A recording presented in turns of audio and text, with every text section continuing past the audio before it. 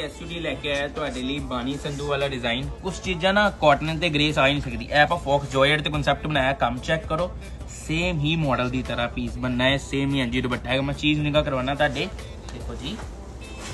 ਸਭ ਤੋਂ ਪਹਿਲੇ ਤੇ ਫੋਕਸ ਜੋਰਜਟ ਦੀ ਸ਼ਰਟ ਆਏਗੀ।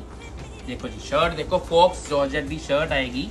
ਕੰਮ ਦੇਖੋ ਕਿੰਨਾ ਪਿਆਰਾ, ਜਿਵੇਂ ਓਰੀਜਨਲ ਬਾਰੀ ਸੰਧੂ ਵਾਲਾ ਸੇਮ ਹੀ ਹੁੰਦਾ ਹੈ ਇਹ ਪੂਰੀ ਫਰੰਟ ਹੈ, ਪਰ ਬੈਕ ਵੀ ਸੇਮ ਹੈ। ਫਰੰਟ ਐਂਡ ਬੈਕ ਸੇਮ ਆਏਗੀ ਡਿਜੀਟਲ ਪ੍ਰਿੰਟ 'ਚ। ਇਹ ਆ ਗਈ ਤੁਹਾਡੀ ਸਲੀਵ ਸਲੀਵਸ ਤੇ ਵੀ ਨਾਲ ਸੀਕੁਐਂਸ ਦਾ ਕੰਮ ਹੈਗਾ ਏ ਔਰ ਇੱਕ ਚੀਜ਼ ਵਧੀਆ ਚ ਇਹ ਚੀਜ਼ ਹੈਗੀ ਕਿ ਬੈਕ ਤੇ ਵੀ ਅਸੀਂ ਬਣਵਾਈ ਸਲੀਵਸ ਕੀ ਜਿਹੜਾ ਆਪਾਂ ਸਲਵਾਰ ਤੇ ਵੀ ਬਣਵਾ ਸਕਦੇ ਹਾਂ। ਸੈਕਿੰਡ ਥਿੰਗ ਬਾਟਮ ਆਏਗੀ ਬਾਟਮ ਲਾਈਨਿੰਗ ਲਗਾਉਣ ਦੀ ਲੋੜ ਨਹੀਂ। ਬਾਟਮ ਅਸੀਂ ਕਾਟਨ ਦੀ ਕਰਾਤੀ ਹੈ ਨਾਲ। ਔਰ ਦੁਪੱਟਾ ਜਿਵੇਂ ਮਾਡਲ 'ਚ ਹੈ ਸੇਮ ਉਂਝ ਹੀ ਦੁਪੱਟਾ ਆਪਾਂ ਤਿਆਰ ਕਰਾਇਆ ਮਲਟੀ ਲੈਸ ਦੇ ਨਾਲ। ਚੀਜ਼ ਦੀ ਗ੍ਰੇਸ ਹੀ ਜੋਇਡ ਦੇ ਨਾਲ ਆਈ ਹੈ। ਕਾਟਨ 'ਚ ਗ੍ਰੇਸ ਆਣੀ ਨਹੀਂ ਸੀ। ਦੁਪੱਟਾ ਚੈੱਕ ਕਰੋ, ਕਿੰਨਾ ਪਿਆਰਾ ਔਰ ਲੈਸ ਚੈੱਕ ਕਰੋ।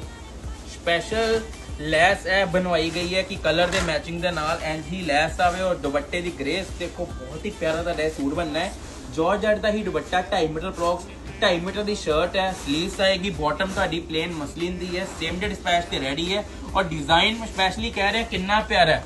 ਕਾਟਨ ਚ ਮੈਂ ਸਸਤਾ ਵੀ ਬਣਾ ਸਕਦਾ, ਪਰ ਜੋ ਸੁਪੀਰੀਅਰ ਕੁਆਲਿਟੀ ਜਾਰਜਟ ਤੇ ਲੱਗਣੀ ਨਾ ਫੌਕਸ ਜਾਰਜਟ ਹੈ ਉਹ ਇੱਥੇ ਹੀ ਆ ਰਹੀ ਹੈ। ਸੇਮ ਜਿਵੇਂ ਮਾਡਲ ਨੇ ਪਾਇਆ ਨਾ, ਉਹੀ ਲੈਸ ਉਹੀ ਸਭ ਕੁਝ ਸੇਮ ਪੀਸ ਉਂਝ ਹੀ ਬਣਨਾ ਜਾਰਜਟ ਦੇ ਉੱਪਰ।